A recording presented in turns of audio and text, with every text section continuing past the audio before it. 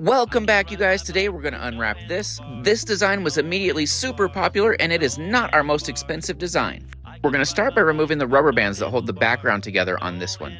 On this kind of simple design, we just use rubber bands instead of our B55 bowstring. Next, we're going to remove the artificial sinew that actually leaves the hard white lines on our designs. So all we have to do is get this artificial sinew off and then we're going to get our big reveal.